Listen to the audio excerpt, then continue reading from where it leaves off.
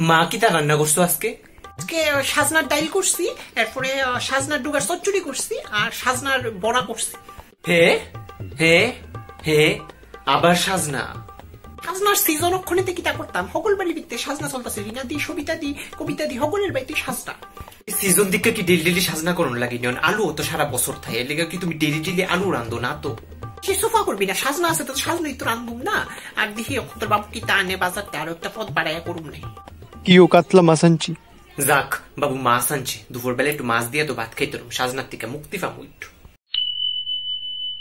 আ মা মাছের কি মাথা করছ ওক্ষণে না ঝুল করছ দুইটাই করছি দুইটাই ওয়াও মাছের মাথা দিয়া সাজনা ডুগা দিয়া চচ্চড়ি করছি আর মাছের আহ, দিয়া আলু আর সাজনা দিয়া ঝুল করছি হ্যাঁ দুইটা সপ্তাহ দুটো খালি সাজনা খাইতে খাইতে খাইতে খাইতে খাইতে খাইতে আর ভালো লাগতেছে না। সকালে সাজনা দুপুরে সাজনা রাত্রে সাজনা ডাইলো সাজনা তরকারি সাজনা অনেক মাছও সাজনা মাংস সাজনা ভাতও সাজনা খালি সাজনা সাজনা। ভগবান সাজনা এই কবে শেষ এই সাজনার ধারাবাহিক পড়ব তা নমুনা পরে করিস খাইতে বই তাড়াতাড়ি ঠান্ডা হয়ে যেতেছে গা ভাত।